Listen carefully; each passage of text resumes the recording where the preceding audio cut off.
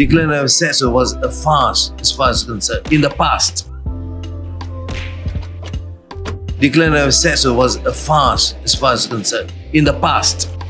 Because you can find people having hundreds of millions of ringgit and still declaring 11 million or 12. So I think what we need to do is to make sure that the um, parameters are clear. See?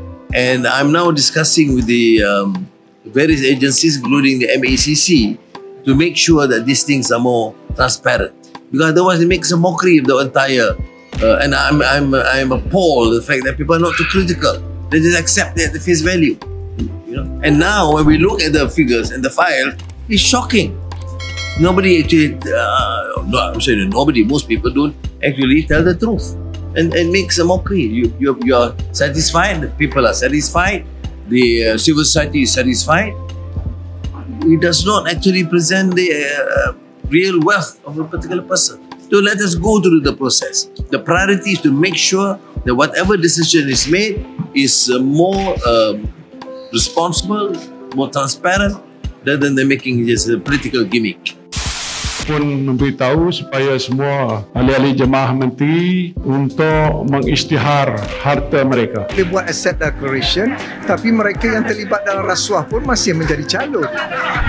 Ini semua sandiwara. Dan bagi kami PAN pun kita ada masalah nak isytihar harta tersebut. Harta kita tak banyak. Orang lain sebut juta, juta, juta, juta. Kita ratus ribu tak dapat juta. tak payah isytihar lah. Ha, tak perlu. Inilah yang pentingnya ada English education. Korang ni kan aduh. Anwar cakap zaman dulu, zaman dulu pengisytiharan harta hanyalah satu penyedap hati. Dia cakap ada 10 juta, 11 juta tetapi hakikatnya ada lebih daripada tu. Ada orang tu kan tak tahu lah mungkin korang kenal ada orang tu tiba-tiba SPRM serbu satu rumah ada kat Malaysia ada lebih satu bilion. Aku tak tahulah kalau korang ingat ke tak siapa ni kan? Melayu kan dah lupa.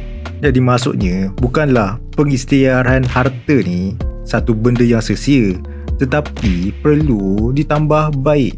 Macam Jepun pun dia ada satu istilah nama dia Kaizen ataupun constant improvement day by day.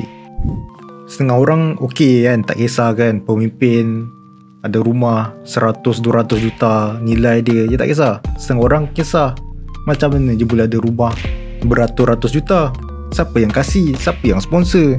Sebab sampai bila kan kita nak benarkan ahli politik mengaut kekayaan negara dan ada kekayaan yang sangat luar biasa sebenarnya kan masalah paling besar dengan istihar harta ni adalah yang istiharta tu dia seorang je. Isteri dia tak kena, anak dia tak kena, cucu dia tak kena, pakcik dia tak kena, jiran dia tak kena, cousin dia tak kena. Kalau dia beli harta yang banyak tetapi letak di bawah nama orang lain, lepas gitu je. Jadi, sebab itu dari semasa ke semasa pengisytiharan harta ni perlu ada penambahan baik kan? Persoalan yang sebenar kan? Kenapa kau yang tak ada apa-apa dengan beria-ria gila pertahankan untuk pemimpin ahli politik Perdana Menteri untuk tidak istiharkan harta mereka. Abah dia. Dahaga attention haus takkan hilang. Perangai macam lancar hidup takkan senang. Wow. Wow. Hidup takkan senang. Wow.